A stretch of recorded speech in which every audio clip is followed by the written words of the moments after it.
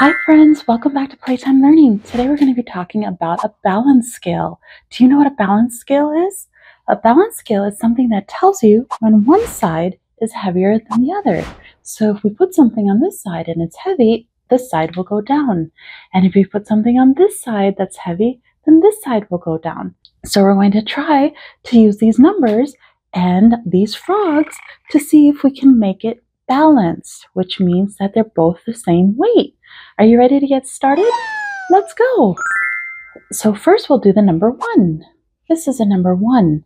So if we put it on here, this side went down because there's nothing on this side. So let's see if we can make it balanced.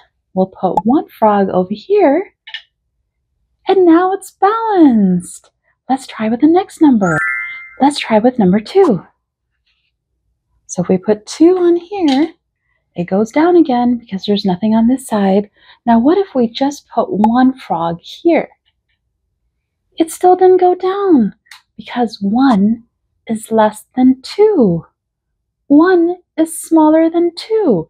So we need another frog. Let's add another frog. And now it's balancing out. That's great. Let's go to the next number. So now we're going to put the number three.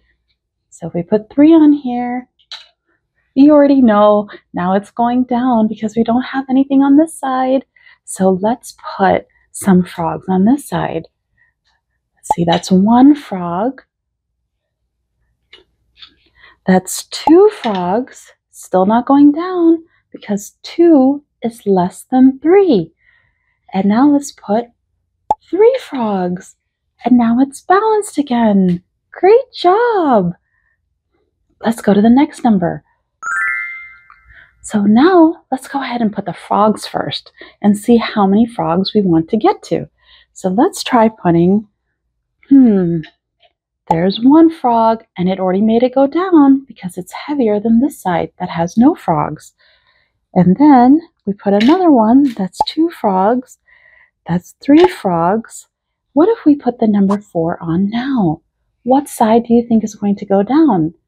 There's a four on this side, and there are three frogs on this side. So let's put the number four on. And the four goes down because three is less than four. Three is smaller than four. So let's put another frog. And we made it balanced. Perfect. Let's keep going. Now let's put the number five. The number five. So five on this side. And now you know how many frogs do we have to put on this side to make it balance. Let's see. One, two, three, four, five. And it's balanced. What would happen if we put one more frog on this side? So then there are six frogs on this side. Should we try it? So now let's put a sixth frog on here. And now this side went down. Do you know why? It's because six is more than five. Six is more than five. That means six is heavier than five. So let's go ahead and change this and put the number six and see if it balances. Great, now it balances. Let's go on to the next number. Now we're going to put the number seven. Here's the number seven. And now, how many frogs do we have to put on this side for it to be balanced? Let's see. One, two, three, four, five, six, still not there yet, seven, and now it's balanced. Great.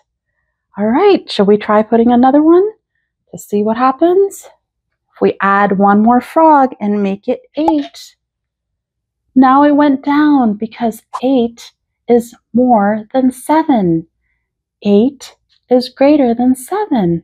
So the eight frogs went down. let's go ahead and pick up the number 7. And let's try putting the number 8.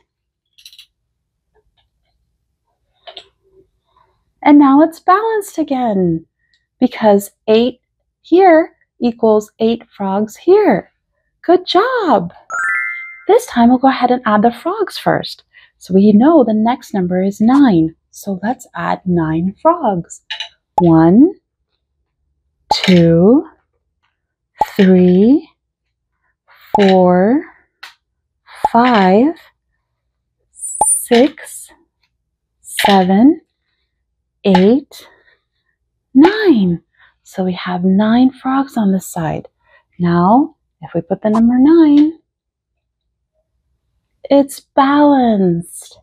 Do you see how this works? This is so exciting. If we have this number equal the number of frogs, then it's balanced. Now, like we did last time, let's go ahead and add another frog. So now we have 10 frogs on this side. So this side is going down because 10 is bigger than 9. 10 is greater than 9. So the 10 frogs are pushing this weight down. Now let's go ahead and switch out the number 9. And let's put the number 10. And it's balancing. Great job, everyone.